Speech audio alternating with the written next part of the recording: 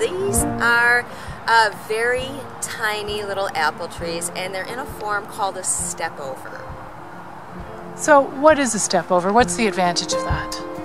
So, step overs are more of a cheeky sort of thing. So, a lot of people will use them to line their walkways. Uh, just imagine having a walkway leading up to your front door with this very small um, apple tree. And so, these are probably you know, uh, four and a half feet in length, and they could get a little bit longer. These are still pretty young. They're only about seven years old. So they're just going to get stronger and more uh, fruiting wood on them as years come. And so when it's in bloom, we've got these clusters of flowers along these nice little branches that are really close to the ground. Um, walking up to your door, you have half a dozen apples right here. This is one full-size, almost full-size tree. So essentially, you're going to have six apples per tree each year. Oh, definitely. At least. At least.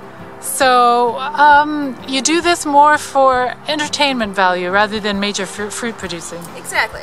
Yeah, it's pretty. It's beautiful. It uh, it feeds us, and it's a really nice, novel idea. And if you don't have a whole lot of space but want to try growing some fruit, this is a really good idea for you.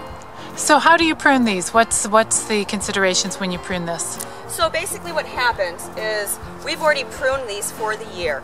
Um, and so what you'll normally see is one-year-old whippy growth that comes off of this trunk here.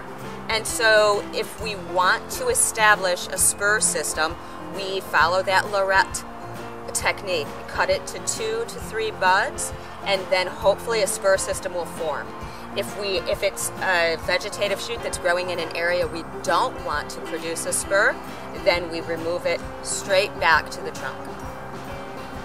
Are they easier in a way than a full-size espalier? Oh, definitely. So these are much easier because if it gets a little bit high or if it gets a little bit low, we're not too worried about it. With a full-size espalier that's a cordoned espalier, we need to make sure that they're staying within a certain zone so that we have that really pretty view through.